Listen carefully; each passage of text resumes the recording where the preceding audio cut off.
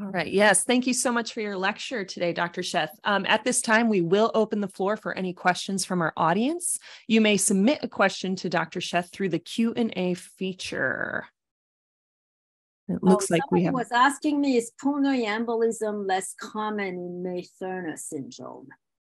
I'm not sure, I'll be very honest with you, I'm not sure I have read any statistics, but I would think that the, the patient is at risk for PE just like with any other DVT. Um, it's just that I think, but they are the, the main risk for this patient is actually chronic venous insufficiency. But I have to say, I haven't read anything that they're less. They're going to be treated with anticoagulation for sure, uh, and they also have going to be treated with with uh, um, thrombo, uh, thrombolysis and then stent.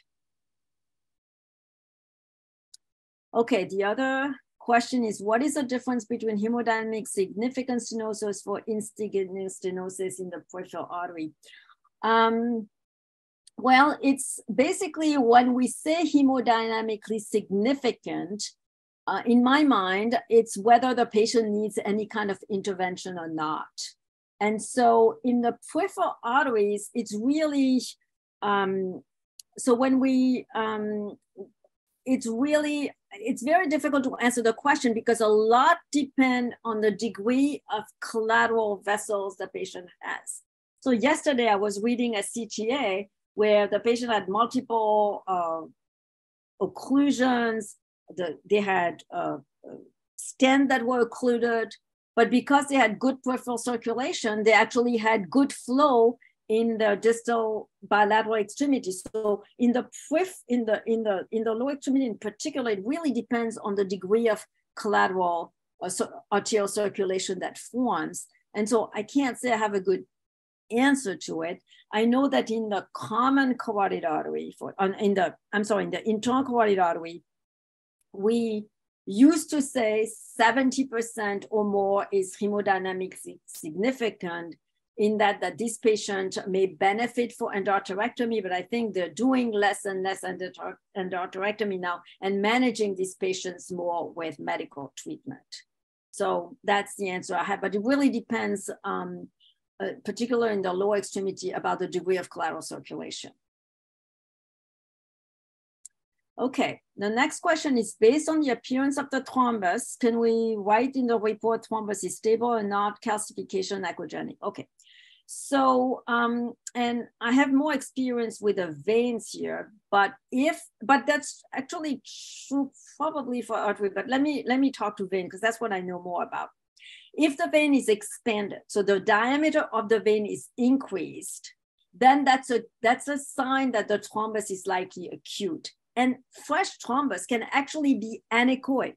So I think that more, a lot of the thrombi we're going to see now echogenic, which makes them easier to recognize. But I think to see if something is acute or chronic, I will first look at the, the diameter of the vein. If the vein is expanded, that's a sign that it is more uh, acute. Uh, if there is normal or decreased diameter of the vein, if there is just wall thickening and webs, so little echogenic lines, but, but not real thrombus, then I think you can say that at least it's subacute. And if there are calcifications in a vein where the wall is thickened, then it's much more likely to be chronic. And now we don't say, so I think um, Dr. Needleman, who is Jefferson and is really an expert on venous ultrasound, he likes to say, if you see sequela from a previous DVT, he doesn't like us to say it's chronic DVT. He likes to say it's post thrombotic changes. And in this case, usually the vein will be small. You have thickened wall. You may have echogenic webs, and sometimes you will see collateral veins as well around the area. So if you see a lot of collateral veins around an area, that's also an indication that this may be at least subacute or chronic. Can I explain the concept of uh, systolic peak again? Okay, so it's it's it's here. Okay, let's see. So basically, what happens?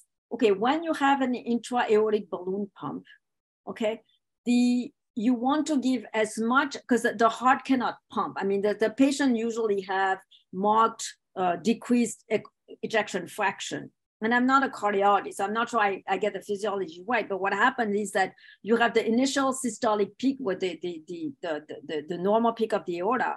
And then there is the assisted systole with in, with in diastole, the balloon expands to kind of try to move more, more blood forward in patients with low ejection fractions. This is why you have the second systolic peak. This one is reflects diastolic augmentation when the balloon expands to push more blood forward. How do we assess deep venous insufficiency? Um, so um, I don't do this routinely. So what you look for, you look for with reverse solar flow and venous uh, and, and, you know, flow going in the wrong direction in a vein. But I'm sorry, I don't do this routinely, so I cannot answer any better. I apologize for that. If peripheral arteries have biphasic or monophasic flow, should we write peripheral arterial disease in the ultrasound report? Okay, so biphasic is at least if you have some flow below baseline, okay? If you have a sharp systolic upstroke and some flow below baseline, I think that's okay because sometimes the triphasic, the third peak is very, very small and you can't see it. If you have monophasic flow, yes, you have to suspect that uh, on, uh, uh, that, that there is something something else going on and we're concerned about peripheral arterial disease. Yes, if there is monophasic flow and if you have tardus parvus, that's even more of an indication that there is a, uh, uh, either an occlusion or stenosis more centrally. And so let me look the, the last two questions. So please report the concept of monophasic arterial flow. Okay, so so so that really depends where you are. So in the, we were talking about peripheral arterial system. So in the peripheral arteries, in the arms or the legs, because we supply, they supply muscles, which is a high resistance bed, you should have a sharp systolic upstroke, you should have reversal of flow, transient reversal of flow in diastole. If you have a more central stenosis, the theory is the flow will become very turbulent, and there may be some vasodilator and other uh, chemical uh, phenomenon at, at, at, at work, which will say that the flow becomes, you have a parvus tardus where you have a uh, lack of sharp systolic upstroke, you have a more slopy uh, initial systole, and then you have turbulent flow because of the stenosis or the occlusion. And so you have a lot of turbulent flow, you have more flow in diastole. That's the best explanation I can give you. Okay, two more. So if there is positive flow in the femoral vein, does it indicate? So, um, okay, so when you look at this positive flow in the femoral vein, so you should have some pulsatility. Now, sometimes you have a lot of pulsatility because the patient's in cardiac failure. And so again, what I always do is look at the other side if both sides look the same and there's increased pulsatility, it's possible the patient has cardiac failure. And sometimes you'll see this, right? Because patients came with low extremity edema, usually bilateral. And, you know, the question is that DVT or is that heart failure? If it's unilateral, then I worry. And one of the things that it can be, if it's unilateral and there is increased pulsatility as opposed to decreased pulsatility that I showed you, is that you may, you may be dealing with an arteriovenous fistula. Um, you have to look at the artery. There are other signs to look at. If the patient has a risk factor, does the patient have a recent procedure, etc. Okay.